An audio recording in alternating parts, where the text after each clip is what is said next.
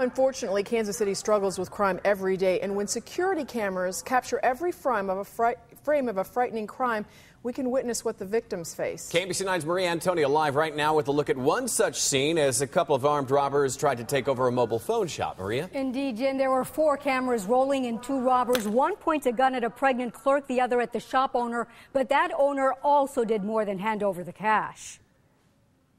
It's easier to see what happened at the Independence Avenue and Prospect store when you separate these images. Take camera one, robber to the right, wearing a white t shirt, pulls out a gun. Camera four best captures the moment the store owner puts his hands up and is led by the robber.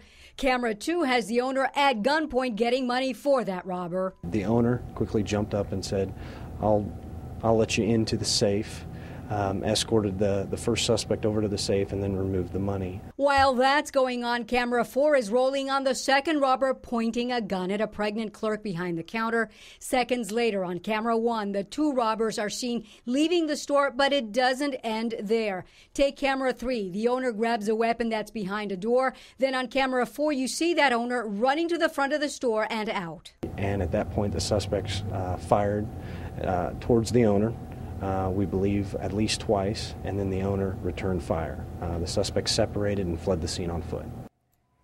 No one was hurt in that robbery. It happened around 3 this afternoon. Now that you've seen the crime, police hope you can help them catch the two guys who did it. The tips hotline number 816-474-TIPS. And you can see those images again on our website. That's KMBC.com. Jim, back to you.